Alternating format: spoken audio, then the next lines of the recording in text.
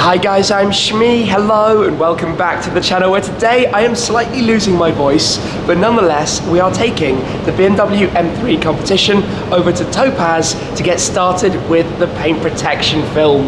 Now I think you guys could have seen this coming, a new Shmeemobile, a car at the moment with about 40 miles on the clock, having picked it up from BMW Park Lane a couple of days ago, not driving it since, because I want to protect the Isle of Man green paintwork. I want to keep this car looking incredible so we're going to be doing the front end and sills paint protection film, starting today, taking it over for the short drive to Topaz Detailing, where many of the Shmeemobiles have been before. I think the car will go through the wash bay, we'll start the PPF process, but there's also something very special being delivered there today, which fingers crossed we're going to be able to see as well.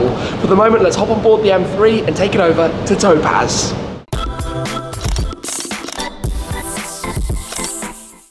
Last year, when I had the BMW M8 competition, I learned something with that car, which is probably no surprise, but after it had driven about 10,000 kilometers, which is around 6,000 miles, and I had it over here in London in the storage with some of my other cars, I was looking at some of the stone chips it had picked up at the front, having not done PPF.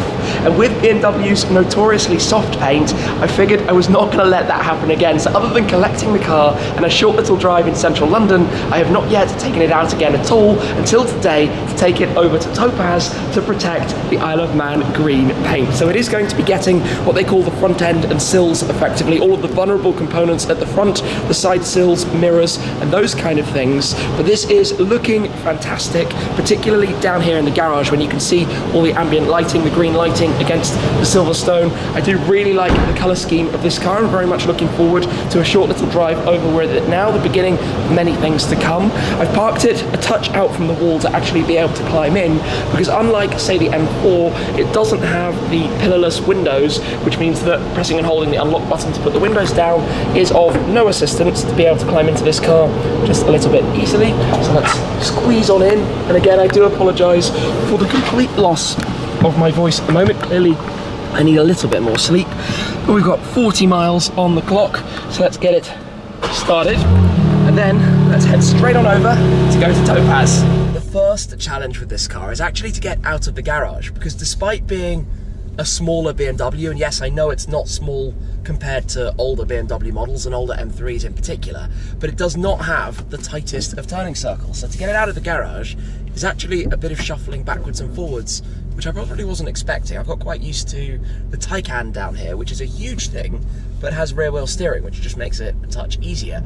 Anyway, slow and steady does it. We will take it over for the short little run. The main plan with this car over the next year or so is basically to use it as the daily for going slightly further out of town. So the Taycan will be very much my back and forth to the museum from home, around town, shorter journeys where EV charging and the infrastructure is not a problem. The G, oh, nice Nissan GTR R35 going past.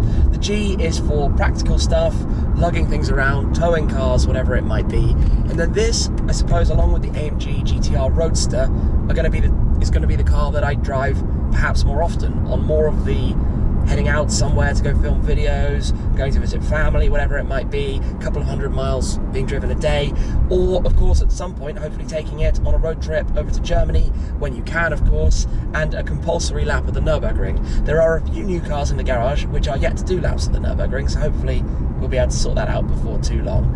For now though, it is very much a leisurely, gentle stroll with this, with the assisted driving. So it has the automated steering as well as adaptive cruise and everything that makes life super, super easy, even if you're driving like this pretty slowly in traffic in town. Anyway, not too far to go.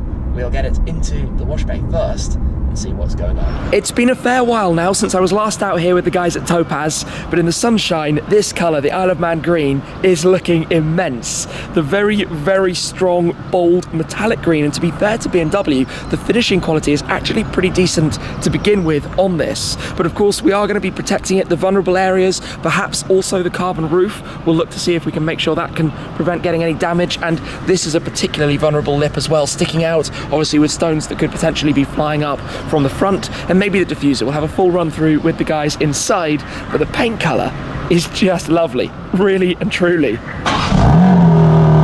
It's funny, when you're in the garage, you get almost a boom out of that engine. Obviously, like that in normal quieter modes, it's not exactly the loudest thing. But we'll pull it straight into the wash bay. The guy's getting immediately to it, which is quite exciting. There is definitely a very distinct look to the new M3 and the M4 of course as well.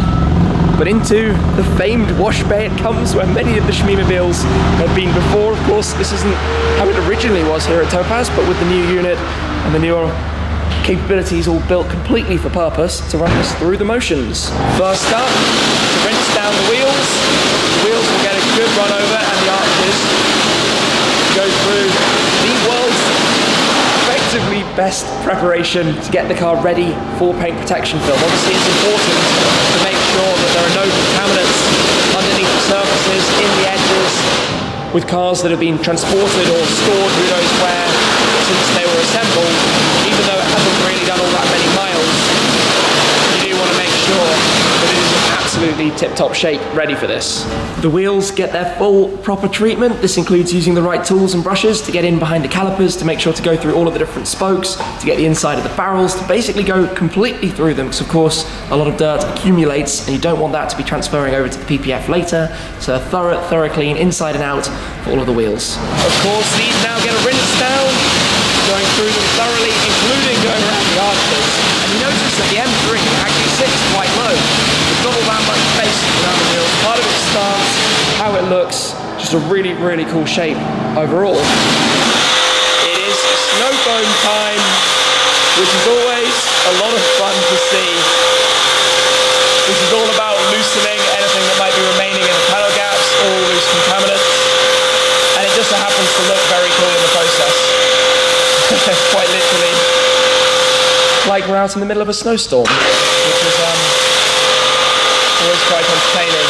Followed by the rinse down over the entire car, going back to green slowly. the next part of this process is to use the Iron X, the fallout, which I always find quite fun because basically, if there is anything left on the surface, you get this purple blood effect after a couple of minutes when it dissolves and then starts to fall effectively off the car. Being brand new, we shouldn't see too much of that on this particular car, but given it has, like I said, been parked outside at various occasions, it might have something. We'll see in a couple of minutes when it's had time to do its magic. The good news in this instance is that there isn't really anything to show because the car has only been built so recently and then delivered straight on through. So no purple blood this time around, now just a rinse to remove it all. I actually really like that view of the M3 at the back. Very distinct BMW M with the quad tailpipes. It's a cool looking car all around. Next up comes around through many of the panel gaps and areas where you could have some things remaining just using a fine brush to make sure that all the different parts could be pulled out. As you can see every different gap around the headlights, around through the towing eye cover, the grille and those various parts as well. Moving on then, we get to the more traditional part of the car wash process, in this case shampooing, going over the entirety of the exterior, body, windows, etc to shampoo it properly before another rinse, all working through the motions. Then to go through some of the more awkward areas and lower sections, a specific sponge is used for the purpose to go beneath all of the awkward parts. The next rinse down, but look at how wide those arches are, those rear arches on the M3. That shape is awesome. A run over now with the clay bar, although given the car is in such good shape, effectively this is picking up nothing. The bar looks completely brand new, even after going over some of the panels, but just to make sure that everything is perfect. The drying process using towels and also the airline to go through the hard parts of the wheels. Apologies, it's quite loud, but making sure it's fully dried to go into the workshop. Now commences a bit of a shuffle around then to swap some of the cars. This is looking fantastic. Honestly, I'm so pleased with the colour. Just the start of the process. That was a very nice Ferrari V12 starting up in the background. So, a bit of a shuffle around then, and that will go into the workshop. He says, just spotting some nice Lambos lurking over towards the background there. And um, yeah, we'll go and see what else is going on. Rolling on through then to the corner bay where this car is going to be worked on for the paint protection film. We'll see a little bit of this process today in terms of the work that's going to be done to get it ready. Should be quite a swift, smooth process, I think, when it comes to this one. There's been a little bit of prep work to the car, so taking things off, like the number plate, of course, so that PPF can be installed here properly and around towards the side, removing the badges that you have just there as well for the panel that goes over the, uh, the quarter panel, the wings that you have out here. The paint protection film itself, which is prepared in advance, the templates that have been created, adjusted and made perfect here at Topaz, those are plotted out so there are no blades that go towards the car so that this can be applied properly using the correct methods. And then we're going to have the car that will be protected against stone chips, light scratches, other road incidents, things that happen as we've seen in the past.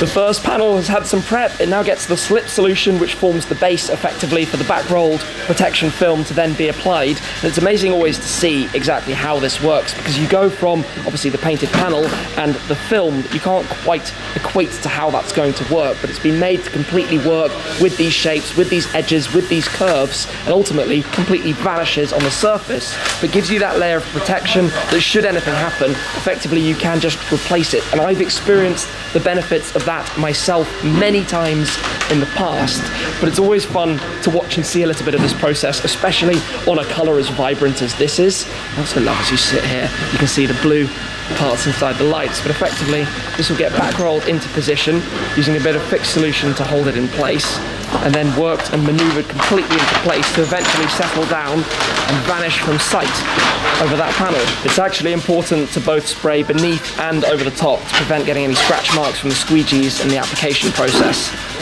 So obviously at this stage, a lot of slip solution used absolutely everywhere to help with maneuvering it. For the first part of fixed solution will go at a pinch point effectively to hold it into place, squeegeeing out the excess liquid as you can see here. This is the beauty of working with pre-made templates that it can start to be applied knowing the exact process. In fact, in this case, working straight on this after doing an M4 before, so similar uh, type of setup. It really is like magic, working around using the different shapes. Of course, with the arches here, you've got curves in multiple different directions, but effectively the material is set up for this purpose. And like I said, will completely disappear when all is said and done. You won't be able to see anything remaining from this being done. It will just settle down into place and completely vanish, which I always find so incredible and kind of mesmerizing to watch. I know we've seen many parts of the process before, but it's always as fascinating as it was the first time. And just like that, the first panel on the M3 has been fitted. A very swift operation. All of the edges have been tucked in, everything neatly positioned. Of course, later on, those parts will come back on as well. But to give you a quick summary of what's going on to this car, we'll have the bonnet, we have the wings, we'll have the whole of the front bumper, including the gloss black parts, we'll have the side sills, we'll have the mirror caps, and then we'll also do the rear bumper, as we have in some of the other Shmeemobiles, to protect from any damage back here, and of course, vulnerable areas like back here where you get stones being flicked up from the rear tyres. So it shouldn't take all that long and we'll see a good amount of this going down today. Also, be sure to check these out, the designs that we have to go along with M3 arriving on the channel over in the Cheers by Shmee 150 store. I know a lot of you guys are big fans of the Generation style, I am too. We've got these and a number of others available as t-shirts, hoodies and more. So check those out over in the Cheers by Shmee 150 store. I'll pop the link down below to go and see more about those.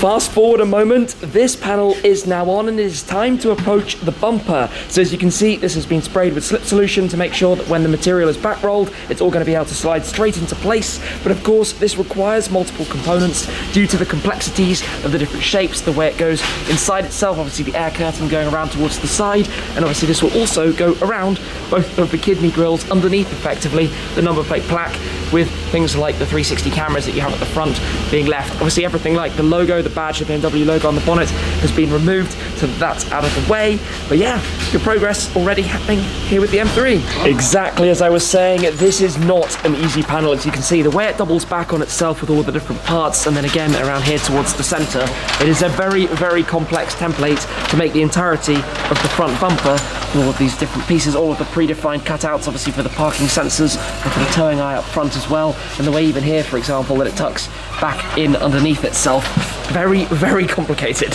One important thing here with the template is to start right from the very center, lining it all up to make sure that it fits perfectly when you then work it out towards the sides. So in this case, from the very top with the badge uh, on the top of the bumper there, as I was saying, working then from there out towards the edges, but obviously again, templated so it will fit everywhere perfectly naturally. The headlights will also get film on them also, by the way, to prevent them from getting cracked or damaged. The fixed solution will hold this in place. Now to work from the center all the way out around towards the edges. More very quick progress then here at the front bumper, and I was also just noticing the aero piece down here, this plastic part, which of course is all to do with the aero profile that you have out towards the sides underneath the front bumper. And meanwhile, if we come around towards the back, the rear bumper has also been fitted. It's always a bit of a challenge to try and work out what's already got PPF on it and what doesn't when it's installed, because you literally cannot see, you cannot tell. But the whole of this part, as you can see, has been finished. It's just waiting the final wrap around and tucking in of all the edges. Nice, very, very quick progress on this. This is going really very, very well. The guys are making some quick work out of applying the PPF to the M3, but I'm going to leave it there for the time being. We've seen it go through the wash bay, we've seen a bit of the process of the PPF being installed, but I'm hoping to pop back out to come and see it when it's effectively completed, but also to see this something very special that might be here in the very near future. For now, though, great to see behind the scenes. Big thanks to the team here at Topaz. I clearly need to go and let my voice have a little bit of a break. So thank you very much for watching. As always, guys, that's it for this time, and I'll see you again very soon. Cheers.